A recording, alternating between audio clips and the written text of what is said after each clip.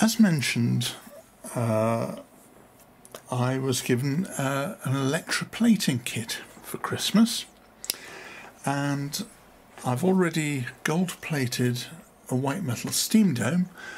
I'm going to have an experiment to see how easy it is or not to plate and copper plate um, a PLA printed figure in this instance. Now, this is a, a little dog that's PLA printed.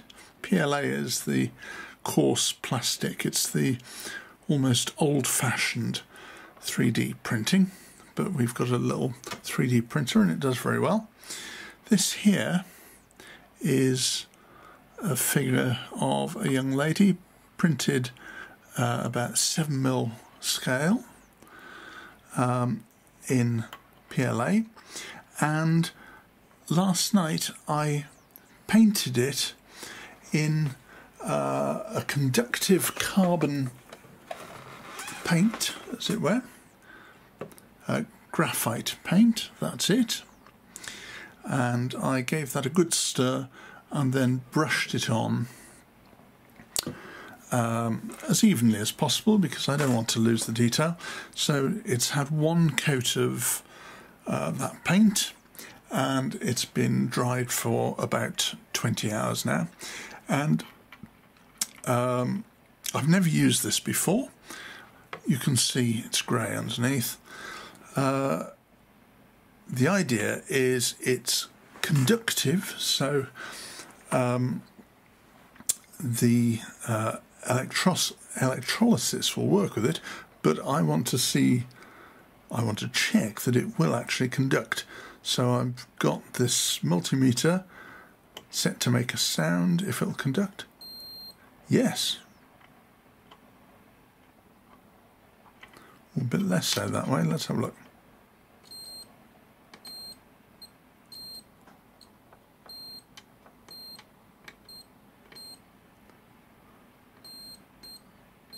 That's pretty reasonable. Uh, I'm going to say that yes, that conducts. So the next job will be to set her up for plating. Um, I shall do that off camera because uh, it'll be boring and take a little bit of time, but I'll show you the results in uh, a few minutes. Stand by. Right. Okay, so all I've done in the intervening couple of minutes is I've got some copper wire and I've wrapped it around the pedestal of this figure, which should hopefully get the volts through, and just um, put her on a cocktail stick like that. And then she's going in this beaker. I'm just going to put a board behind so we can see a bit more clearly that. Perhaps that will show up a little bit better. And this little beaker is going to be our tank. Now, uh, we have, with this teeny little kit, we have two pieces of copper. These are our anodes. Whoops, Daisy. Not supposed to be throwing them about. Uh, the anodes are the positive uh, circuit so I will clip the red wire to one of those like that. And we have another one which goes on the other side like that. And the other red wire will clip to that and that also just holds that in place. And the uh, figure we're going to electro electroplate dangles in the middle and uh, we have here this uh, bottle of electrolyte. Now you'll see written uh, written in my handwriting on top there 1.2 V, 1.2 volts. That is the voltage at which I will be plating this. I plan on only putting quite a thin layer on this uh, because if we go too thick we will lose the detail and I don't want to do it. That's assuming it works at all. So I'm going to pour this electrolyte in and I just want to cover the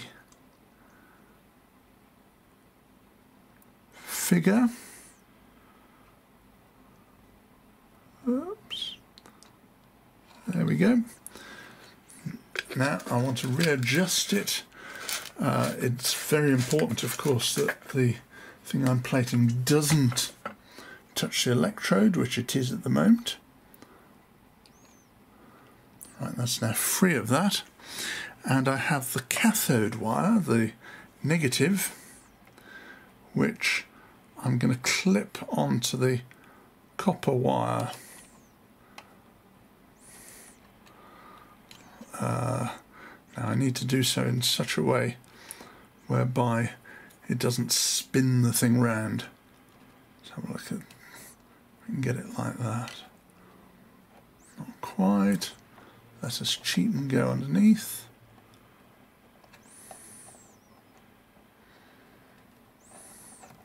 Let us cheat even more. Slide the thing along.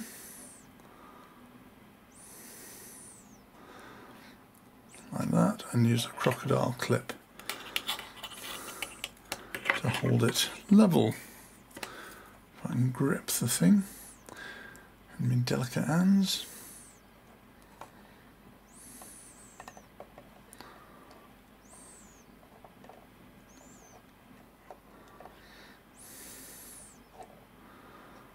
That's going to be a little bit prone to uh, uh, falling out. Let's see what I can do, do about that.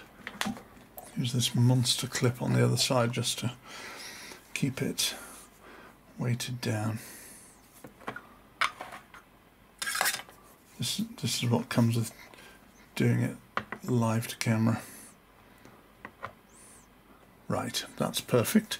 So the figure is entirely submerged and that's not going anywhere.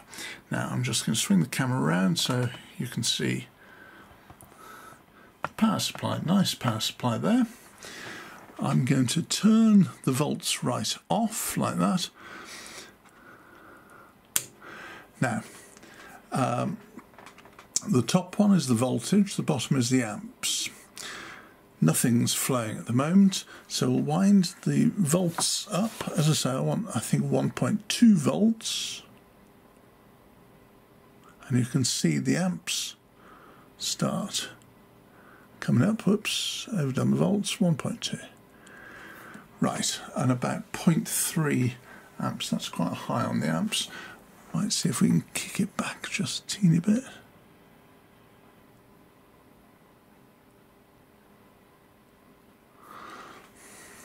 Keep the amps down. So that is actually, oops, let's uh,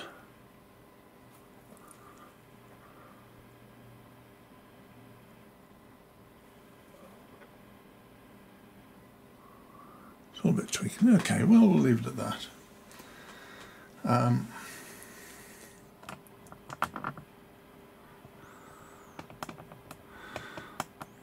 that is actually plating at the moment and we'll do this in real time. We'll have a look.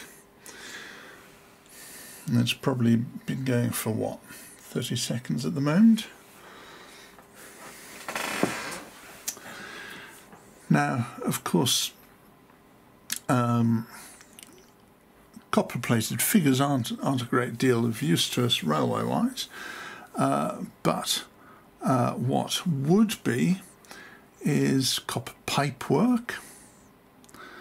Uh, now, for that, of course, we're just uh, uh, doing uh, white metal castings, which is um, very useful. We know how successful that is because the steam dome that we gold plated, which worked really well.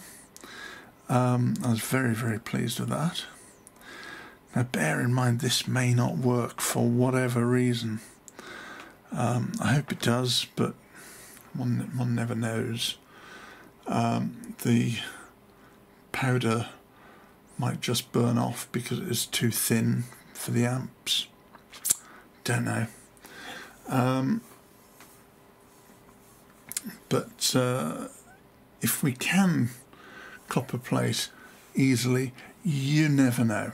And once you've got it copper plated, uh, silver, gold, what have you, is really, really very easy.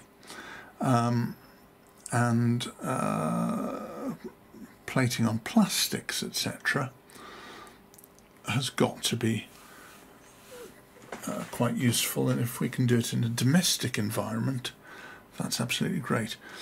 I'm just going to pull it out and we'll have a quick look as it's working. I'll just zoom in so you can see as as I see. Um, it'll be a bit exciting. As I say, I've not done this before. I don't know how it's going to look. Good heavens. Can you see that? And that's in, what, 90 seconds or so. So I'm going to, uh, we're showing 0.5 volts on that. I'm certainly not going to increase that. Uh, 0.6 volts, not, yeah, 0.6 volts, and uh, nearly 0.5 of an amp. Um, that really is remarkable.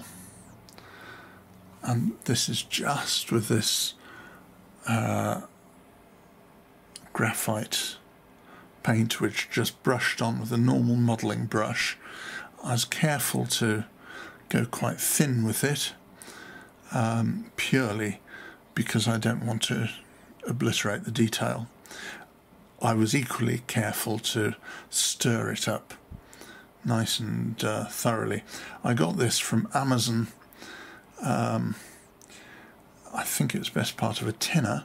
However, they sell exactly the same stuff, uh, calling it shielding paint for about a fiver uh, I've subsequently discovered.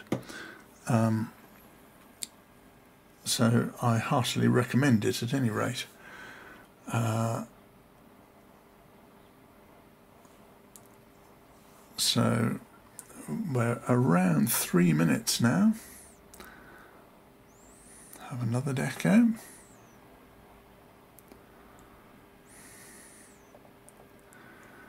Wow, wow, wow. Um, okay, and I'm going to call a halt at that. Turn the electrics off. Take the cathode off and pull that. And I'm just going to give it a quick rinse in some water. Bear with me.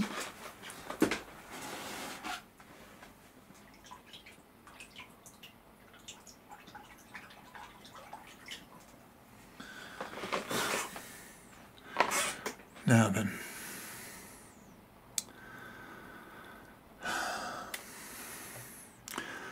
I confess I am amazed at that. Uh, we're a little dark on the top of the head. No real surprise. So the top of the head could have obviously done with uh, another minute or so. Uh, but generally, generally that is quite superb. Um, I'm just going to give her a bit of a buff up.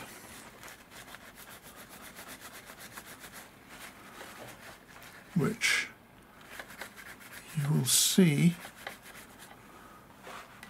brightens.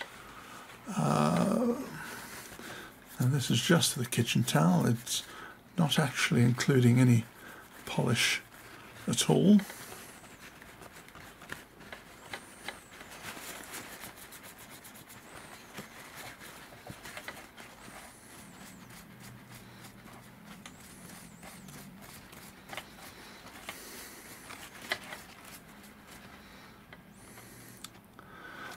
was a teeny, teeny.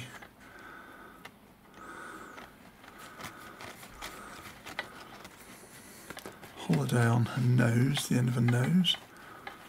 Um,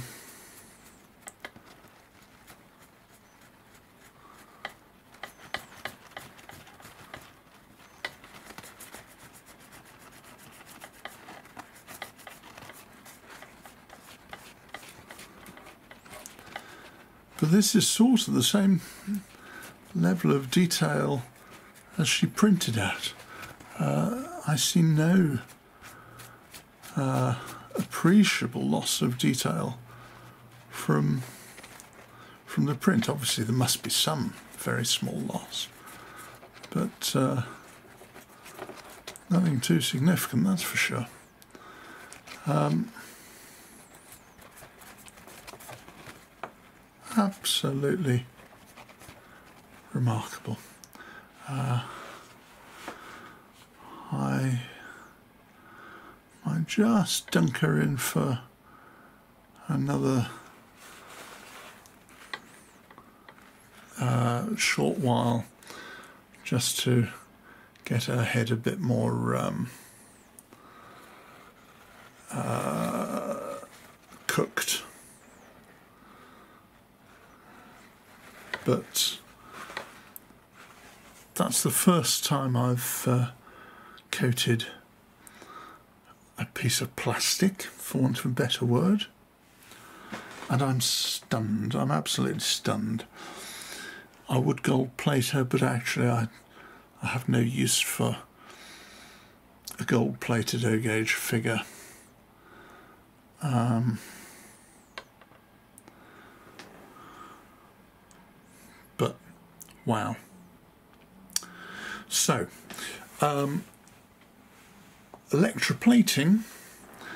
Uh, Tim by the replacements on Amazon Music. Oh, Alexa, for heaven's sake. Alexa, be quiet. Alexa, be quiet. Um, but electroplating uh, is extremely viable and uh, certainly easy and practical to do, even on plastics. Um, it may be I have a very good solution. I don't know. This one came from Germany. Uh, it certainly works extremely well. Uh, I don't know uh, where the quality is coming from particularly, but certainly I have a very happy combination and I'm extremely happy and pleased about it. I hope you find this useful. TIFOO uh, are the chemicals I'm using, and this kit all came from theirs, courtesy of my wife. They're in Germany at the moment, um, but I dare say other suppliers will do equivalent stuff. Um, and you may consider this technology or craft uh, for, your, for your own needs. I hope you find this useful. Thank you.